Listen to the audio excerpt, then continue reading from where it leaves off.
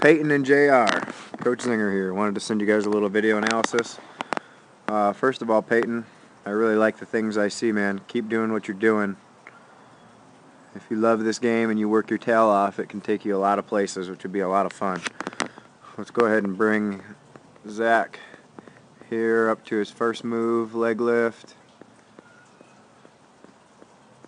One thing I want you to notice here is that his initial move was forward.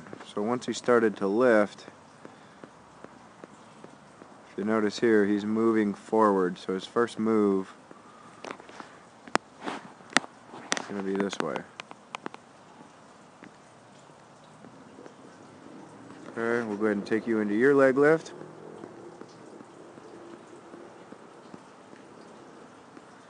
It's a subtle thing here, but it makes a big difference. You'll notice I'm going to start right here. That's where your head's at when you start. And your first move is backwards just a little bit. If you notice, I can see half your face. Now I can almost see your nose. Okay, so that's a slight thing, but if you notice with Zach, his first move was forward.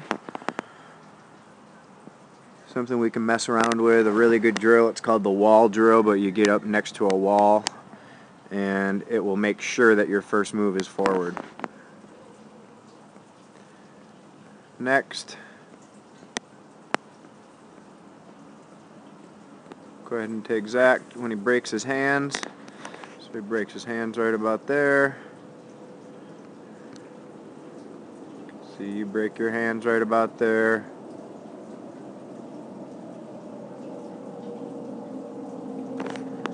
Gonna go ahead and take you into front foot strike. So when your front foot hits the ground, we'll take Zach to front foot strike first.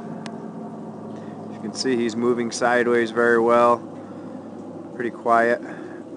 Upper half. Boom. Take him into foot strike right there. Go ahead and take you into your foot strike.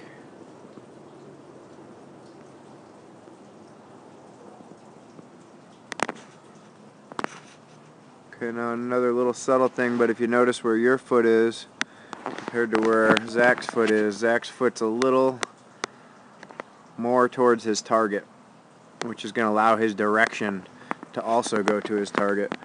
If you notice his front leg here is in a pretty good braced up position, whereas you can kind of see your knee is actually on the inside of your ankle there just a little bit because of the direction of your foot.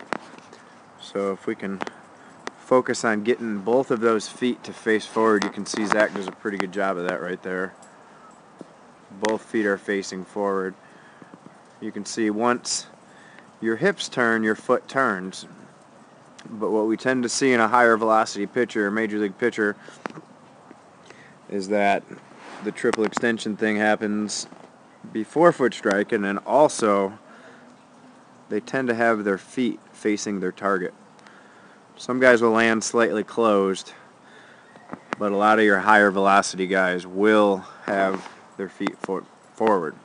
Once again, direction. You're doing a pretty good job there, but I think we can become just a little more efficient there. Go ahead and take Zach into release. Nice quiet front side. So he's definitely firing into it take them into ball release right there.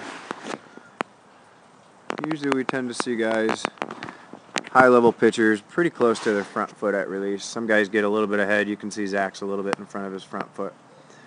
Let's see where you're at with your release. So also a pretty, a pretty good position there, getting that ball out front if you will.